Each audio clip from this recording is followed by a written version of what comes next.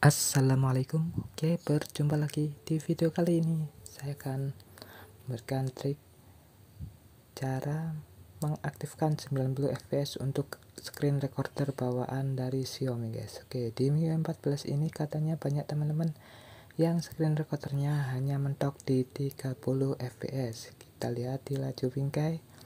Ini mentok di 30 fps jadi bagaimana untuk mengaktifkan kembali yang 90 fps oke kalian jangan buru-buru untuk mendowngrade MIUI kalian guys.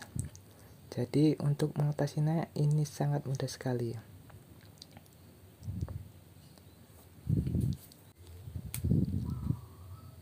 Dan untuk mengatasinya ini kalian tidak perlu buru-buru. Kita langsung aja cek di daftar aplikasi di menu setting kalian guys.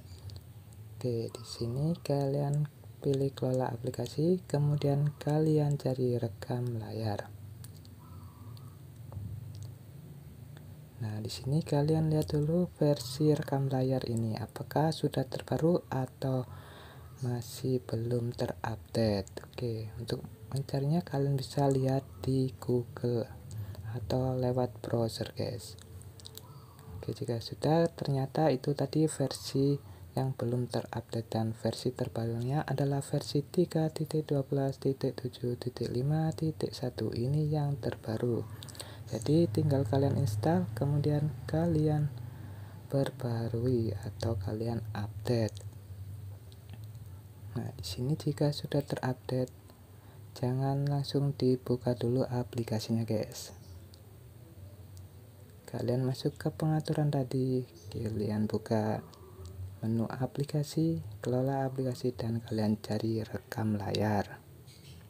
Nah di sini jika versinya sudah yang terbaru maka kalian coba untuk buka aplikasinya. Nah di sini kalian lihat di laju bingkai.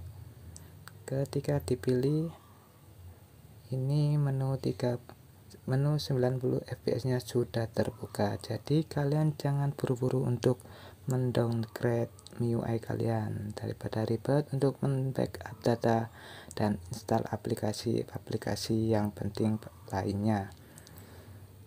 Oke sangat bermanfaat semoga bermanfaat. Wassalamualaikum warahmatullahi wabarakatuh